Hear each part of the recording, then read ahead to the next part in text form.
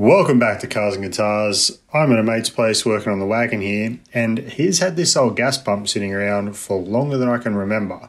It's cool and all, but it really annoys me because it could be so much better.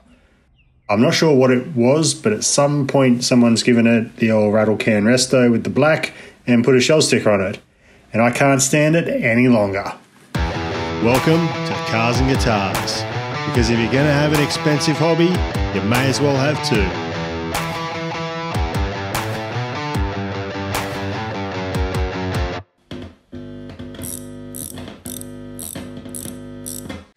I'm back home, and the plan is we're painting the logo. I've taken the, the sinful lower bit as well as this top part for some patina reference. And my gosh, does it have the patina. All the good stuff. It's absolutely beautiful. I'll eventually have to try and match this with paint, so wish me luck. Anyway, the plan is to get all this black off. The original white is still underneath, so it'll be a good base to put the new design on. I can't wait to get rid of this sticker as well. This is not how we do things around here. But before I make a mess, I'll have to get these cars out of the way. Small block life.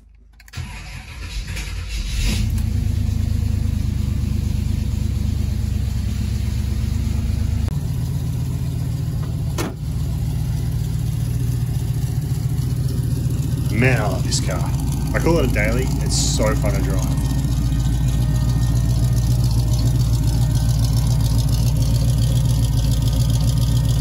That's the fuel pump lining, by the way. Now the big girl. Haven't started her up in about a month, but it's a big block, so it'll be fine. It'll wash too. Cold start, hasn't been in a month, and she's sitting here idle on the way with 65 pounds of oil pressure. She's choppy!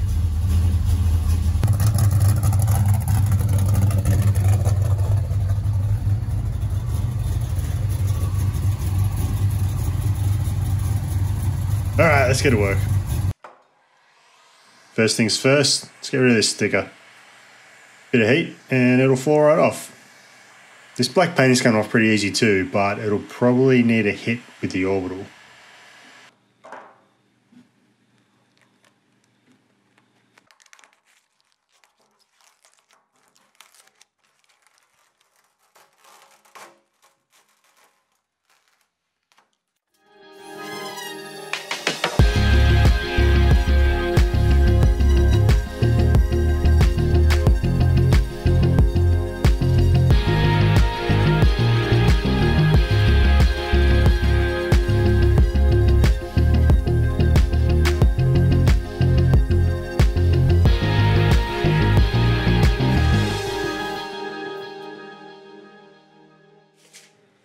That was easy.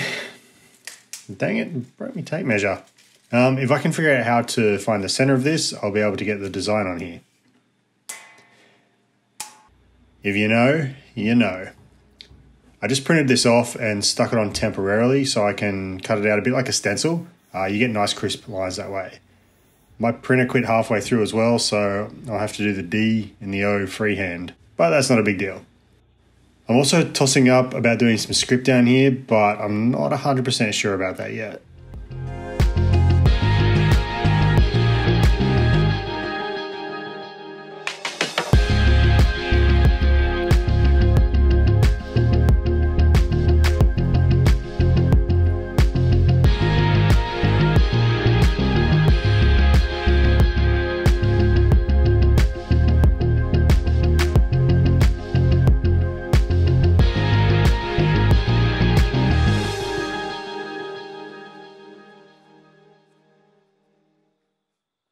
And just like that, we're ready for paint.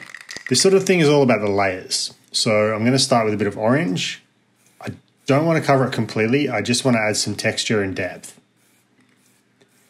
On top of that, the top coat.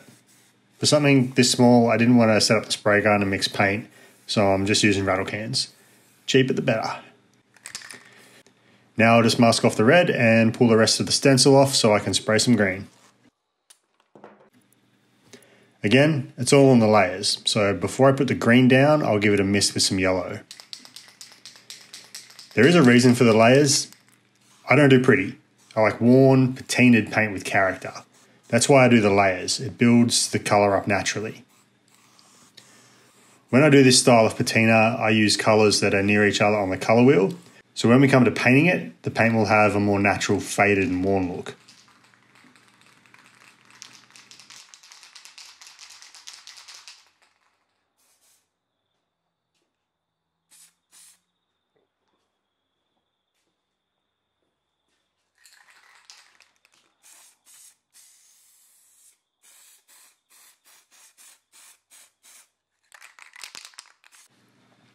One beer later, time to get all this stuff off and have a look at our little logo for the first time.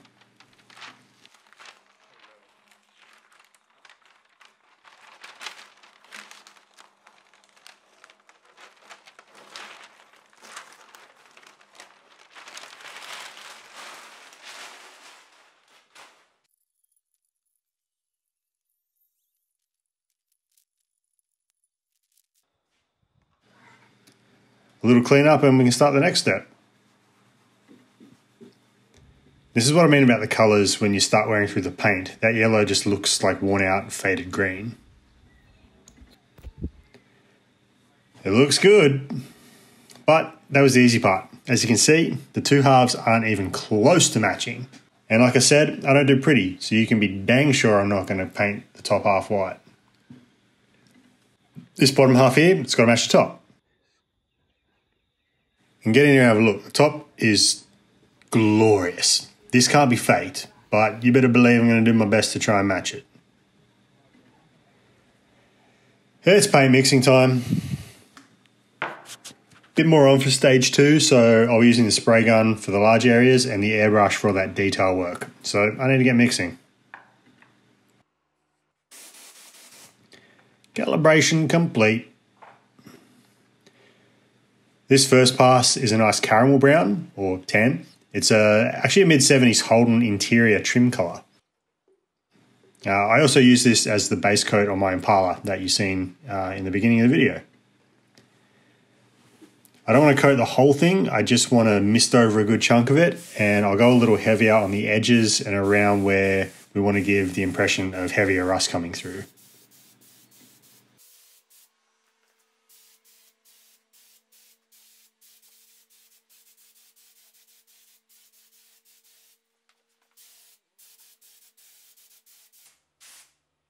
Looks pretty good to me. On to the next. This next colour is another 70s Holden interior colour, uh, and it's about as 70s a colour as you can get. Brown. This one was the main top coat on the Impala as well. Uh, it's a nice contrast or, I guess, continuation of the tan base. I've turned the air pressure right down as well. I'm only running about 10 psi here because I want this first pass to splatter and add some texture. I've got the air pressure back up to 30 psi or so now and I'll just go over the spots from before and add a little extra variation. Even with only two colours you can start to see just how much better this looks already.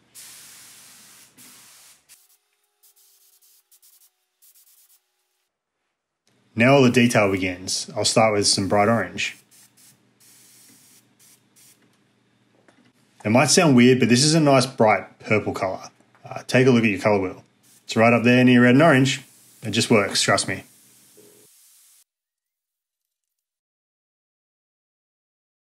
Now we're getting into the good stuff. This is some laser cut sheet for airbrushing details. I use these heaps on the Impala as well. They're great for that sort of scaly rust look. Time for some black. Now, I like to put down some now and then come back with some of the browns, reds, purples, even some blues and greens, and then do some final black details in the end. I'm sounding like a broken record here, but it's all in the layers.